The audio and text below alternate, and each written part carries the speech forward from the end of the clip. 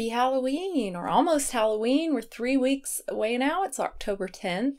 I hope you like this. We got this from Target. I think it was $5.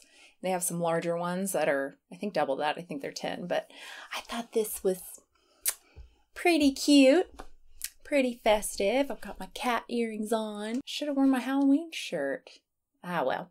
Anyway, uh, a lot of you I asked for video suggestions, both on Patreon and on YouTube. In both places, people asked for Halloween stuff, Halloween candy, and what we're doing as, you know, a vegan family. So obviously, this year is a little bit different with the pandemic, but for the most part, things are going to be the same. Just know, at least for us, we're not going, you know, door to door and getting candy that way, but we're still going to be dressing up and we're still going to be eating lots of candy. So I wanted to talk about the kind of candy that we're getting and also what plans we have in terms of different things that we're going to do since we can't go door to door, which is kind of the the most fun part, I guess. So to start, candy.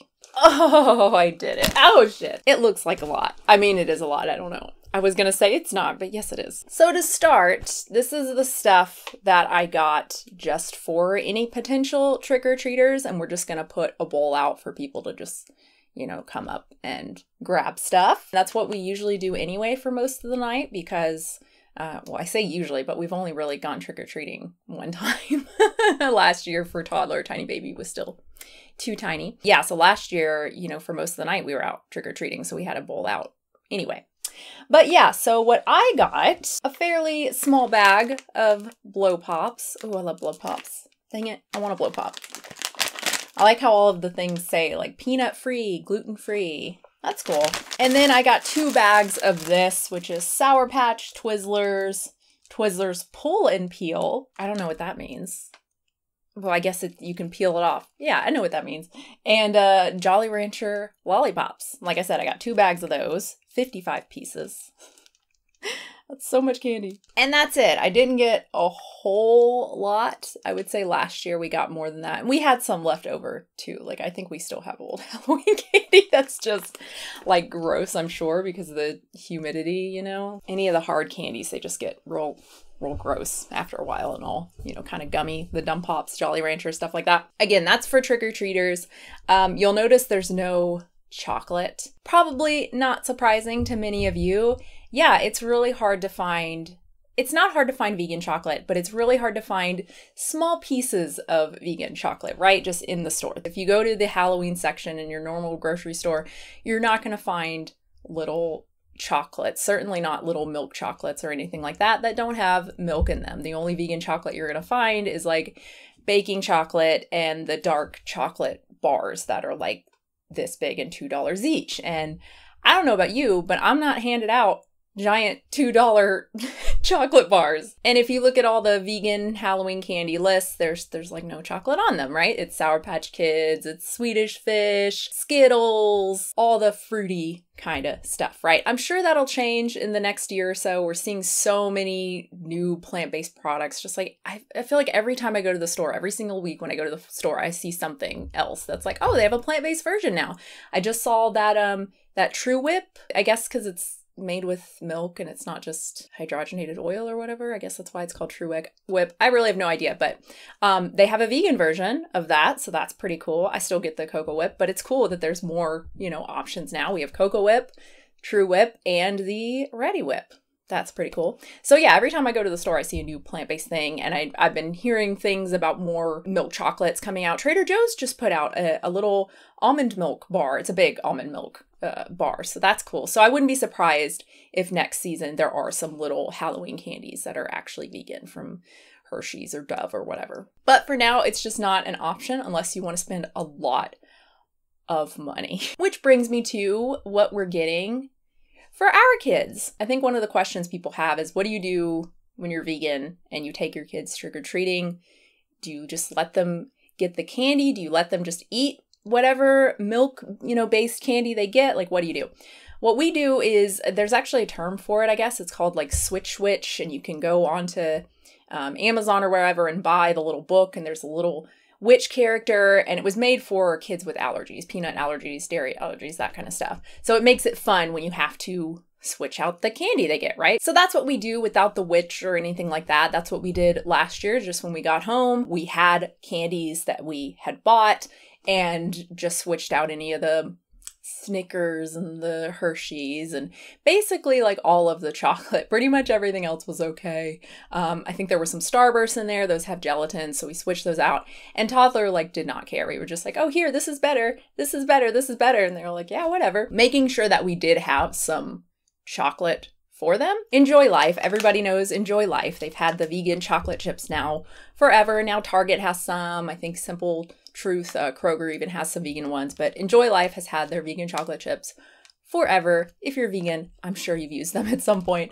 Um, they also have some little mini chocolate bars. You can see they're even Halloween. Well, the package is Halloween theme, themed. I think the little bar still just says, yeah, it just says enjoy life on it. But they have these dark chocolate minis, these rice milk chocolate minis, and then they have another one. I think that has little crispies in it. It sounds really good, but that one is not vegan. I think that one has honey in it. So these are terrific.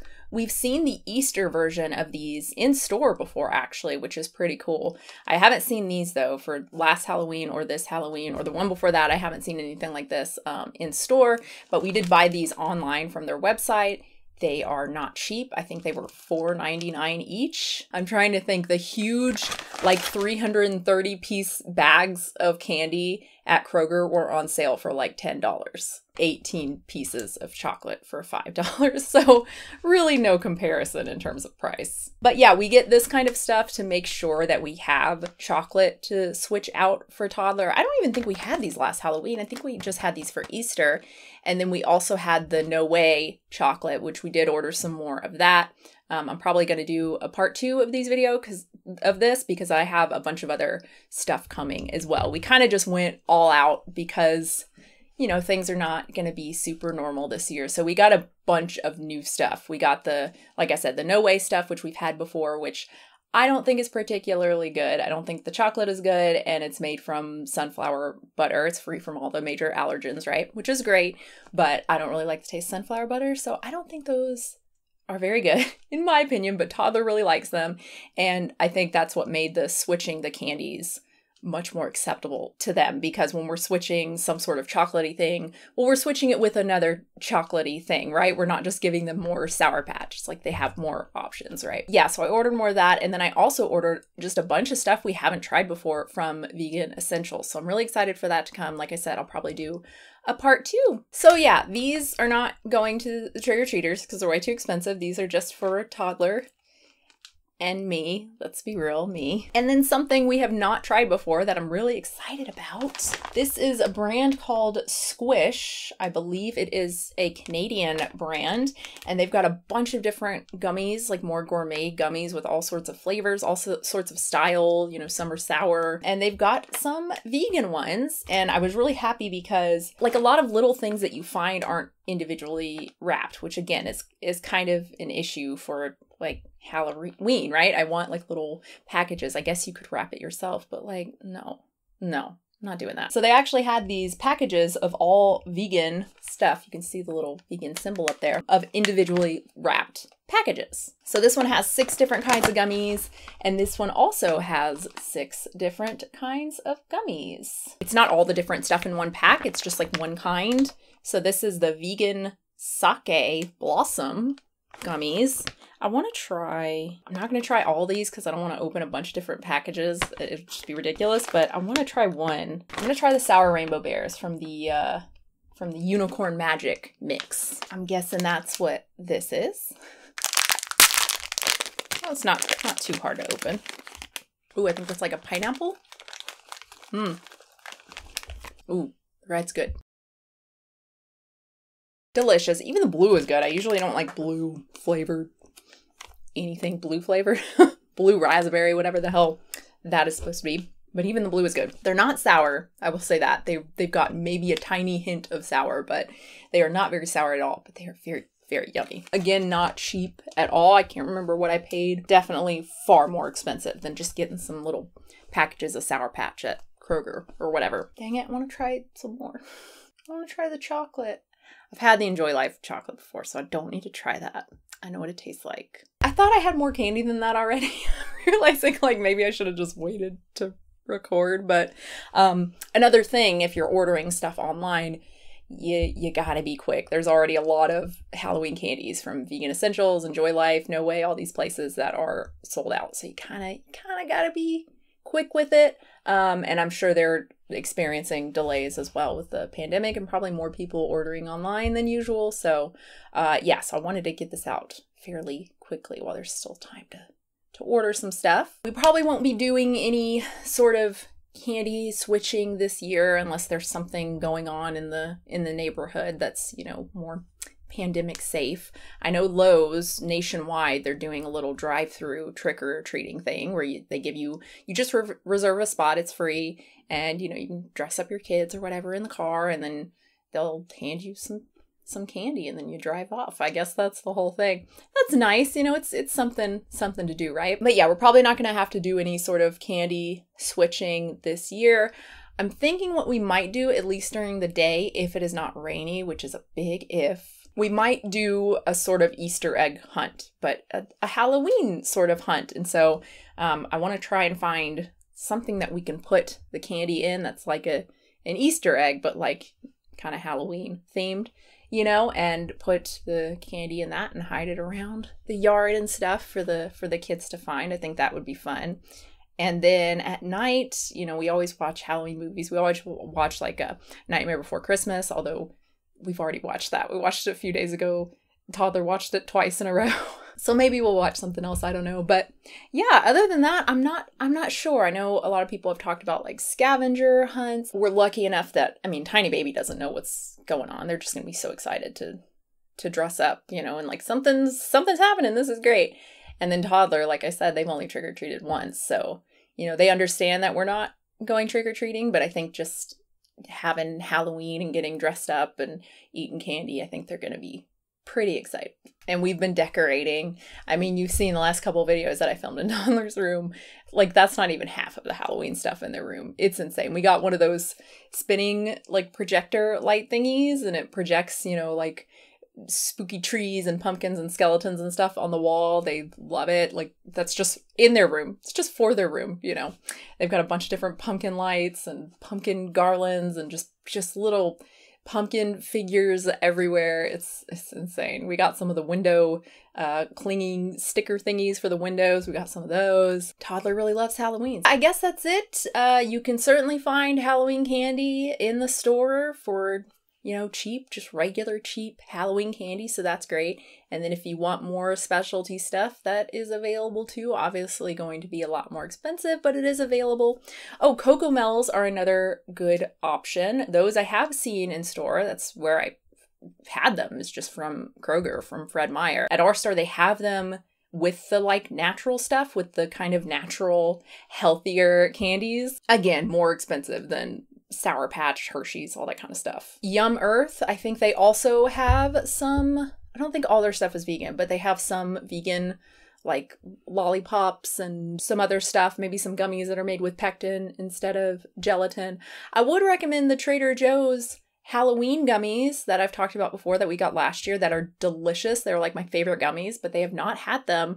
A partner went to Trader Joe's just yesterday and they didn't have them. So super bummed about that. But if they end up getting those this year, definitely get them. They are so good and they come, you know, in a little fruit snack pack, individually wrapped. And just fruit snacks in general, I guess you can find from the store. There are a few brands that don't have gelatin. I love fruit snacks. I would be totally fine with a house just handing out packs of fruit snacks. That would be tremendous. I'll also say we heard when we were trick or treating last year, like two or three times, number one at our house when we did finally come back and we got a few stragglers, I guess, coming up to get candy, older kids, and they were like, oh yeah, Sour Patch Kids.